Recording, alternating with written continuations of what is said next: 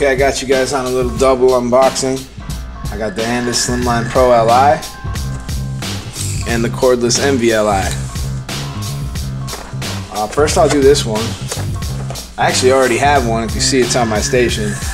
Uh, I've had it for maybe almost a year and a half and it's starting to kind of wear out, starting to kind of not run as good even when I put a new blade on it. So I went and I got another one which I, I, would say these are just one of the best trimmers I've ever used, and it's a total yes, yes.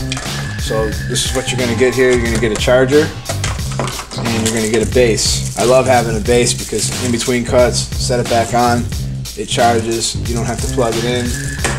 But also, you could plug it in and use it as a pass-through. And that means if the battery's dead, you can still use it. But I'm to tell you something. That's a lie if the battery's dead and you plug it in, this one, when the battery's dead, if you plug it in, it does not work. That's why I'm getting rid of it. So that's why I got my new one. I really don't care. I mean, I got a whole year and a half out of that thing, and it was a great year and a half. So, I mean, that's all I was really looking to get. Plus, these things come down in price a lot. So, you know, I think it's still worth it.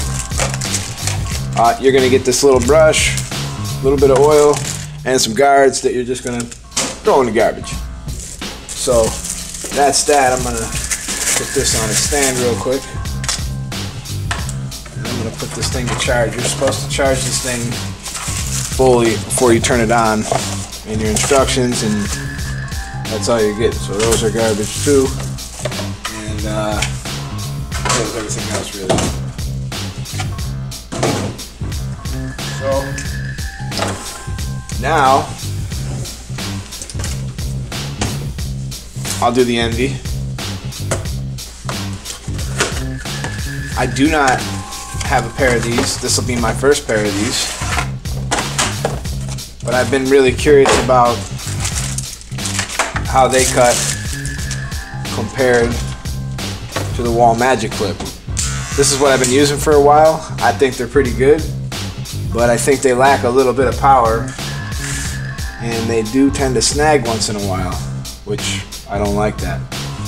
So I was kind of hoping that I would uh, be able to, to cut faster with these without them snagging. So I'm going to do a couple haircuts today. I will show you them in action. But for now, I'm going to go plug them in. So I'll tell you what, they feel great in the hand and they're, they're nice to look at. I, I like the feel of them um, a lot. So also with the envies if you can try to keep this thing because when you put it away it'll keep it safe and when you travel with it this little cap will keep it safe. I'm never able to keep them but maybe it'll help protect your equipment. One thing i do like about the andis already is this charger is much smaller than this gigantic one they give you with the Wahl i mean look at the size. This one almost takes up two full plugs. So unless you got a lot of stuff on your station, you know, like everybody's got a lot of stuff on their station.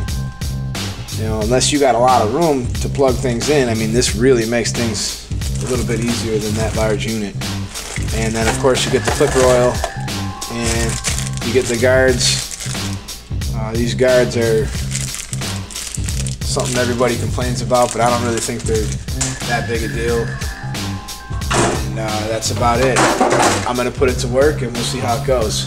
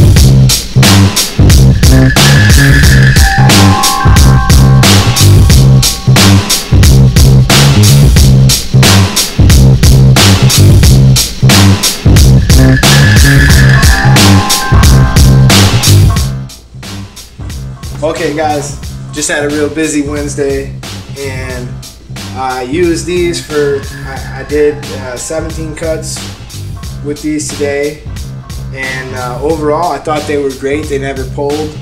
They didn't get the skin line out 100% with the stock blade, but I'm fine with that. I don't really, I don't really care. Uh, I was actually able to get it out with the cleanup crew over here, so uh, I was able to do some some really nice uh, removal of the skin line. However, these blades that come with it, these guards, I didn't even clean them yet, but these guards uh, are going into garbage. I mean, I can't tell you how easy it is for this guard to fall off. Like, I don't know how thin they could have made the guards, but they really were trying to save some money here on this plastic or something. And I mean, honestly, uh, I'm never going to be using these guards again because I had them fall off uh, a few times. Of course, I was keeping my finger on the bottom because I already knew that they were starting to fall off. But uh, like I said, I mean, Andis, come on, you need to step your game up a little bit with that. Uh, that could cause, you know, somebody to have a really bad haircut or maybe ding someone in the side of the head. So, I mean, at least if, you, if you're safe and you're careful.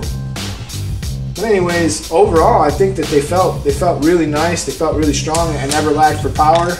And uh, I'm gonna do I'm gonna do a review uh, or like a shootout here. But just one thing that was kind of annoying these turn on by pulling them down, pushing them up. These turn on by pushing them up and pulling them down. All day long, I was kind of back and forth because I'm really used to working with these, and here I'm doing this. But uh, I got used to it at the end of the day. I know it was opposite from, from what I was thinking. So overall, I'm glad I bought them. I really wish that the guards were a little bit better. I mean, look at the guards for the, the Wahl. They snap on, they're not going anywhere. You could do chin-ups from this one. So, anyways, I'm gonna keep my opinions to myself as far as which one I think is better and which one I think you should have. I mean, for now, uh, I'm gonna hold. I'm gonna hold off on that. I'm gonna go a little bit longer, use these for a few weeks, and I'll let you know what I think. And then I'm gonna do a shootout in between these other two. So until then, thanks for watching. Stay tuned. A lot of videos to come, and I'll see you in my next video.